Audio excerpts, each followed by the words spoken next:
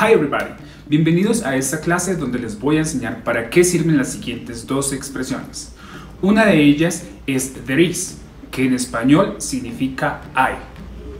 Y la segunda es there are, y también significa hay.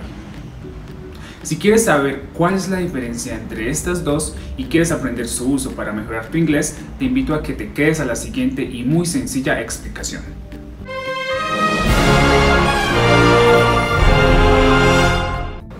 Let's begin. Comencemos. ¿Por qué estas expresiones? El lenguaje lo utilizamos siempre para comunicar algo, hacer saber lo que sentimos o expresar lo que queremos. Muchas veces expresar lo que existe en los lugares en los que vivimos o en algún momento en nuestras vidas queremos contar algo que existe, ya sea por ejemplo que supongamos que yo estoy hablando por celular con mi mejor amigo o amiga, quien es de otra ciudad y quien no conoce mi ciudad, y yo le puedo contar por celular lo que puede ver aquí cuando venga a visitarme.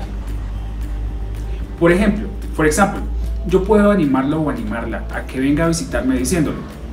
Hay muchas personas agradables, hay 20 tiendas para comer helado, no hay hoteles costosos, eh, hay una tienda de mascotas, hay un zoológico, no hay ladrones, hay muchos centros comerciales, hay un lago muy grande, hay un parque de diversiones, no hay ñeros. Para los que no saben, en Colombia le decimos ñeros a las personas que hurtan en la calle. En los ejemplos anteriores utilicé una expresión, la cual es la expresión hay, que me permite expresar lo que existe o no existe en un lugar. Por eso son importantes estas expresiones y hoy vamos a aprender a utilizarlas. Ahora sí vamos a comenzar con la explicación. Esas expresiones there is y there are, como yo ya les mencioné, son expresiones que me permiten identificar lo que hay o no en espacio que nosotros podemos observar. Además, son muy sencillas de utilizar. ¿Qué significan? Cabe volver a mencionar que el significado es bastante fácil de comprender las dos expresiones significan hay en español. Ejemplos. There is a sofa in the kitchen. Hay un sofá en la cocina. There are three sofas in the kitchen. Hay tres sofás en la cocina. En ambas oraciones, el significado en español es el mismo. Hay. Vamos con otro ejemplo. There is a cat on the bed. Hay un gato sobre la cama. There are three cats on the bed. Hay tres gatos sobre la cama. ¿Cuál es la diferencia entre there is y there are? Básicamente la diferencia es que there is se usa con un complemento singular, lo cual quiere decir que estamos hablando de una sola cosa, persona o lugar. Y there are se utiliza con un complemento plural, lo cual quiere decir que hablamos de dos o más cosas, personas o lugares. Aclaremos con los siguientes ejemplos. There is a window in my bedroom. Hay una ventana en mi dormitorio. There are two windows in my bedroom. Hay dos ventanas en mi dormitorio. En el primer ejemplo hablamos de una cortina singular, uno solo. Por eso usamos there is. Por otro lado, en el segundo ejemplo hablamos de dos cortinas plural, por eso utilizamos there are. Algo importante que debes saber es que con las cosas que no podemos contar, como la arena, la luz, el agua, el mar, etc., debemos usar siempre el singular there is. Es decir, que con lo no contable, uncountable nouns, debemos usar el there is o singular. Por ejemplo, hay mucha luz. There is much light. Hay leche en la nevera. There is milk into the fridge. Hay mucho amor para ti. There is much love for you. Pero puedes decir, hay un vaso de leche. There is a glass of milk. There are two glasses of, of milk. Hay dos vasos de leche. En este último ejemplo sabemos que la leche es algo no contable y deberíamos usar el there is. Pero cuando usamos cuantificadores como un vaso, una copa, una cucharada, en este caso sí podemos usar el there are porque estaríamos contando con facilidad. Un cuantificador me permite contar lo no contable en el caso que sea posible. Otro ejemplo para aclarar esta parte de los cuantificadores es, hay mucho azúcar sobre la mesa. There is much sugar on the table. Es necesario usar el singular there is porque no puedo contar el azúcar que está sobre la mesa. En cambio, puedo decir, there are two cups of sugar on the table. Hay dos copas de azúcar sobre la mesa. En este último caso, sí puedo usar el plural there are porque puedo contar el azúcar con un cuantificador, el cual es la copa o copas. De la misma manera, como se hace en todas las estructuras gramaticales de un idioma, yo puedo utilizar afirmaciones, negaciones y asimismo hacer preguntas. Ejemplos afirmativos. There is a fly on the window. Hay una mosca en la ventana.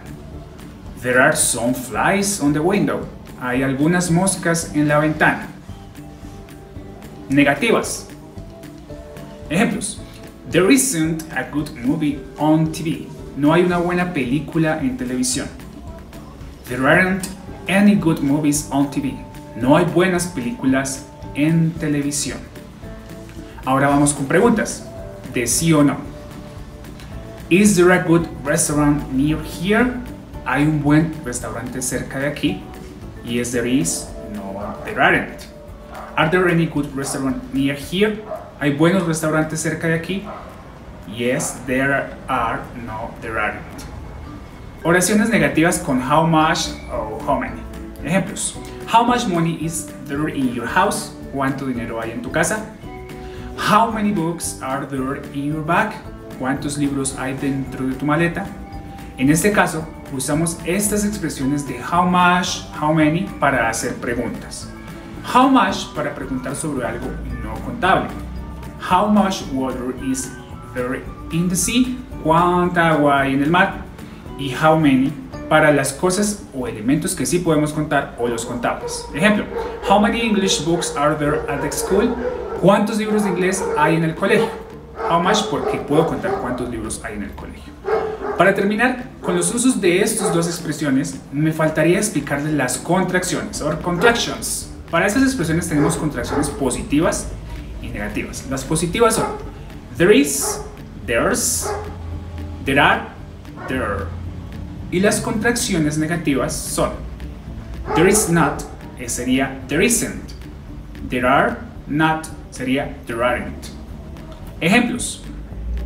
Es lo mismo decir there is not a dog y there isn't a dog. Otro ejemplo. There are not five hamburgers. There aren't five hamburgers. Finalmente, les voy a dejar a continuación varios ejemplos con there is y there are, de la misma manera con contracciones y sin contracciones para que los puedan practicar. Ejemplos sin contracción. There is a car on the road. Hay un auto en el camino. There are apples in the box. Hay manzanas en la caja. There are five flags at the top of the hotel. Hay cinco banderas en la parte superior del hotel. There is an iPad in my bag. Hay un iPad en mi bolsa o en mi maleta.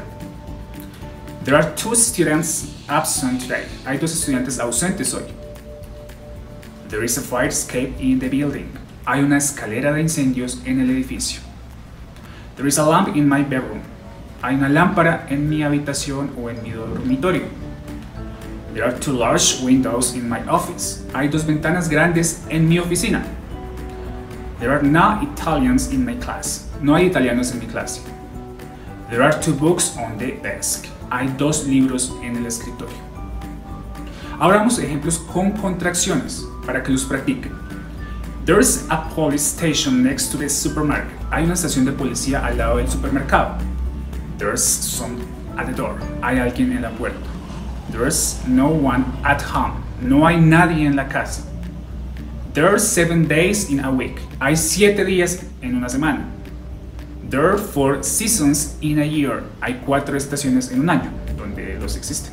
There are only one doctor in this area. Solo hay un médico en esta área. There's a bank between the post office and the hospital. Hay un banco entre la oficina postal y el hospital. Espero que les haya servido de mucha ayuda.